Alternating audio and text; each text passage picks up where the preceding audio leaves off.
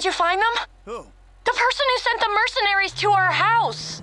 I'm working on it. Are we safe? You said we would be safe. He's not gonna try that again. I'm on top of this, Amanda. Trust me. Really? You're sure? I'm positive. Look, I love you, baby. I'm gonna take care of this.